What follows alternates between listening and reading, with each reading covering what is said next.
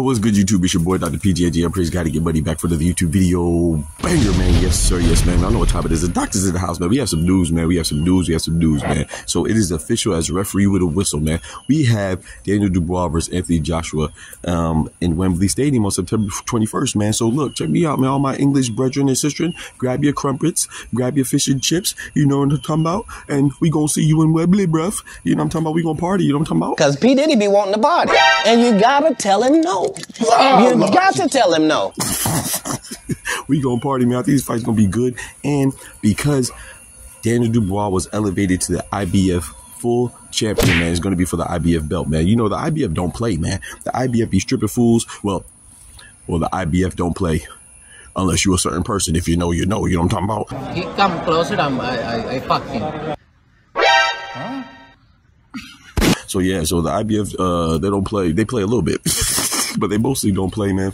They stripped it. Um, they they stripped uh Alexander Usyk, or you could say he vacated. However you want to say, whatever route was taken. You know what I'm saying? At the end of the day, the same result is that, or the result is the same. Is that uh he he's lost the IBF belt, whether he gave it up or he was stripped. Anthony and Daniel, listen. I know IBF title important to you. Tell it my present to you on September 21. And um, his rematch with Tyson Fury, unfortunately, won't be for the undisputed, which I think is kind of a, uh, I think it's kind of a letdown. You know what I'm saying? But at the same time, you know, the IBF they did want um, Filip Hrgovic and and Daniel Dubois fight that just happened in the 5v5 Queensberry Matchroom fight to be for the IBF title. So it kind of in a roundabout way is. So that's why I don't really see, you know, a lot of people would say that um, when you once you get elevated, you're like an email champ, you know, they got emailed to you. But I kind of think a lot of times people are right. But in this case, Daniel Dubois was an interim champion already. And um, I kind of still recognize the Filip Hrgovic versus Daniel Dubois fight as like a, like a, like a title fight. You know what I'm saying? So this one is a little different. And I don't knock uh, Daniel Dubois for, for that because he, he was on the streak of some good wins against Jer- Jer- Jarrell Big Baby Miller and um and Filip Hrgovic, man, he looked very impressive against him. So I'm not mad at this too much. You know, I know some people will. Let me know in the comments what you think about that. But anyway, at the end of the day, man, we have uh, Daniel Dubois versus Anthony Joshua. I think it's going to be a great fight. I called this uh, before. You know, a lot of people didn't believe me.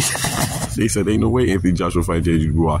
I said, bro, I said, Daniel Dubois beats Filip Hrgovic, man. You know, I think I think Anthony Joshua will fight. I'm not saying that he wouldn't fight Filip Hrgovic as well. I just thought that it was a bigger and better chance that he'll fight Daniel Dubois in, in, in, in the in the event that he wins. You know what I'm saying? Um, and uh, because Daniel Dubois, let's face it, he's looked at as a as an easier opposition. You know what I'm saying? The easier competition, and that's that's what we have now. You know, um, Anthony Joshua just wasn't possible to fight the winner of Alexander Usyk and Tyson Fury because regardless of who won, they already established that they were going to have a rematch. So you know, uh, he wasn't going to sit down and wait that long, and I didn't think that he would fight Joseph Parker. You know, since he already beat him.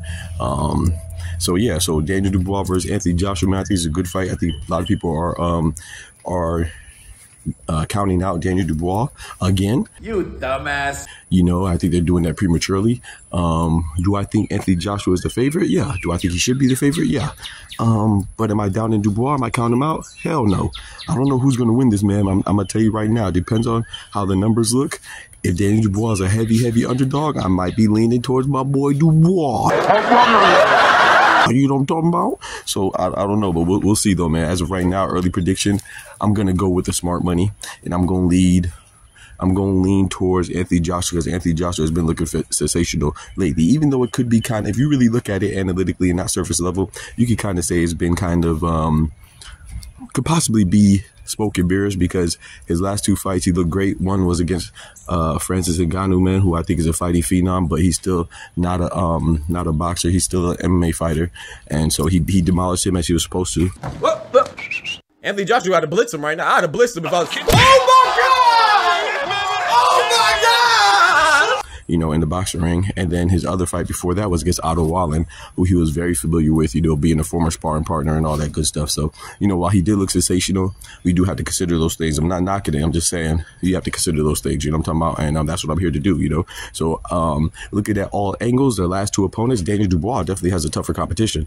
You know, being Hrgovic and Jarrell Big Baby Miller. Not say Big Baby Big Baby Miller is the best, but you know, he got that uh them drugs in his system, you know what I'm talking So, so you can argue that Daniel Dubois, being the smaller man, was fighting Jarrell Big Baby, Big Baby Miller. What? Jarrell Big Baby Miller's weight, his excess weight, and Jarrell Big Baby Miller's PEDs. You know what I'm talking about? The residual effects of the PEDs. So, uh, so Daniel Dubois, he, his, his last two opponents, especially Filip Hrgovic, man, a lot of people are discrediting Filip Hrgovic, saying that he was a fraud because he lost to Daniel Dubois. No, he was still, he's, he's still who I thought he was. He's still a good fighter.